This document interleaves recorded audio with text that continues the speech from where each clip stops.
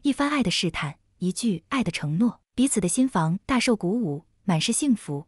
那是翠花走出爱情阴影的第一次主动出击。那个漂亮的摄影师瞬间进入了翠花的心房。作为朋友的见面礼，两人第一次交换了名片，而他也主动约翠花走进自己的生活。小小的摄影棚里，翠花看到的没有其他，只有这个女人无穷的性格魅力。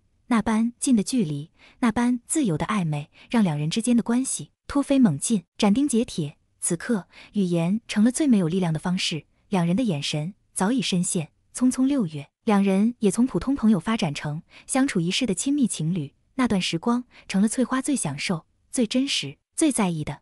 因为这个命中注定的女孩，翠花终于遇到了。但翠花的生活仿佛掉进了一个魔咒，一个刚刚好转就要经历挫折的悲哀现实。平日里，翠花万分享受跟他在一起的快乐时光，仿佛没有挫折，没有痛苦，唯有一份来之不易的美好爱情。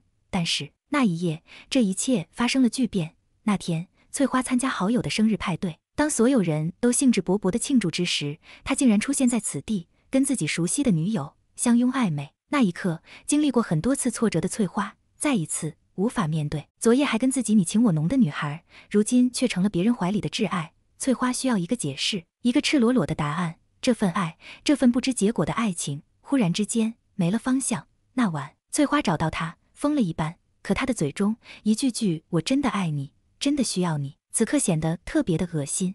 他发誓要跟那个女人分开，永远跟翠花在一起。但这句空洞的誓言，在下一秒就被赤裸裸的揭穿。回想昔日的美好，真情的凝望，所有的记忆，此刻全部成了累赘。爱真的好艰难。